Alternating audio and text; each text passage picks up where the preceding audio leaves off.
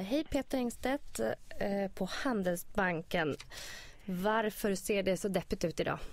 Jo, det är framförallt bankerna som driver nedgången. Det har kommit en hel del nyheter på, inom banksektorn och börsen är ner ungefär 2% nu. Det kom en del eh, nyheter också om att eh, Irland kanske behöver söka hjälp hos IMF också som också har påverkat negativt. Men eh, ja, det är väl de huvudskälen egentligen. Finns det några andra sektorer som du tycker utmärker sig? Ja, det är tydligt att defensiva eh, branscher som läkemedel går bäst idag. Eh, bland annat hittar vi Elekta och AstraZeneca högt upp på, på vinnarlistan.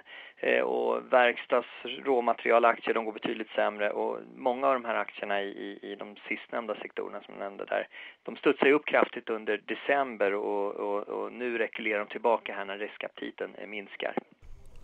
Du, och så har eh, lilla Vitrolife varit ute och shoppat. Jo, man eh, har offentliggjort att man vill lägga ett aktiebud på, på den nästan lika stora konkurrenten Medicalt. Eh, och det är också ett bolag som är verksamt inom om fertilitet och stamcellsforskning. Och, och vår initiala reaktion till den affären är, är ganska positiv. Vi tycker bolagen kompletterar varandra väl. Vi tror att man kommer kunna utvinna en hel del synergier och, och man blir så pass stora nu så man bättre kan ta upp konkurrenten, konkurrensen med, med de, de eh, marknadsledarna.